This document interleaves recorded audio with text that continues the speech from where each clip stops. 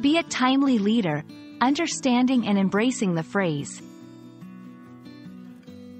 Hello, everyone. Today, we're diving into an intriguing and motivational phrase, be a timely leader.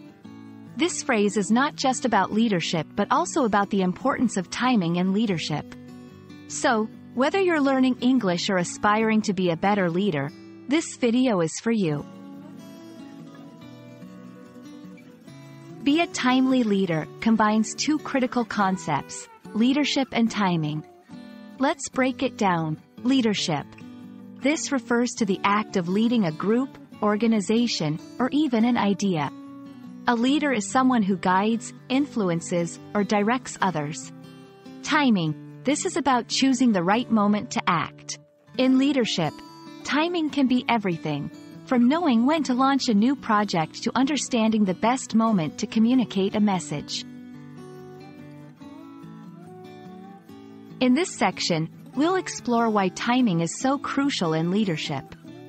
1. Decision making. Making decisions at the right time can lead to success. Delaying or rushing decisions can have negative consequences. 2. Change management.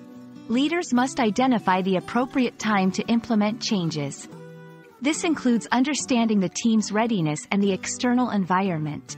3. Crisis management. In times of crisis, timely responses are essential.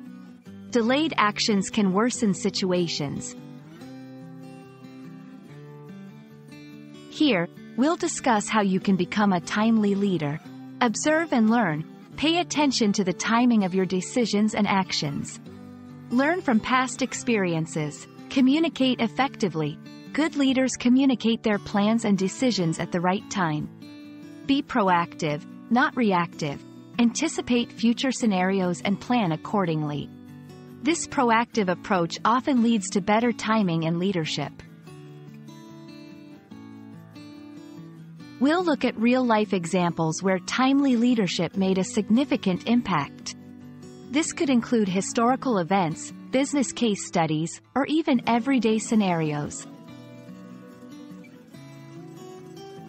Thank you for watching. Remember, be a timely leader is about more than just guiding others.